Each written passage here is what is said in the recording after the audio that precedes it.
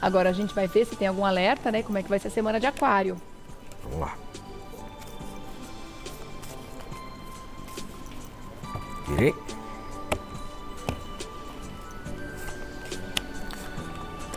Ixi. Tem alerta. Tem alerta aqui para aquarianos e aquarianas. O alerta é espiritual, tá, gente?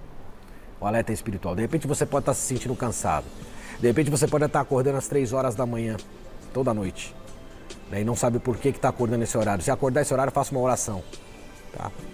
De repente você está sonhando com gente que nunca viu. Isso se chama clonagem astral. Tá? E é um processo bem complicado. Né?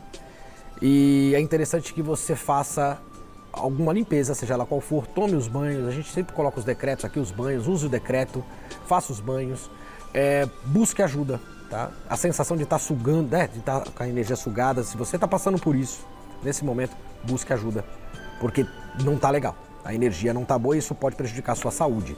Baixa a sua imunidade, aí vem gripe, vem covid, vem tudo que não presta, começa a manifestar no físico. Tá? Por que, que eu estou falando da saúde primeiro? Porque as outras duas casas estão ótimas.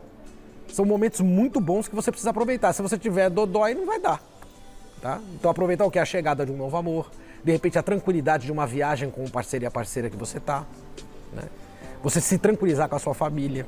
Tá? Tudo isso, né? parceria, negócios, sociedade, coisa boa vindo a caminho né, cursos, muita coisa legal que pode acontecer com os arianos e arianas. E se você não tiver legal, você não vai aproveitar absolutamente nada. Então cuida primeiro, tá? Eu peço aqui a ajuda dos mentores nesse momento, que é o penúltimo signo do zodíaco.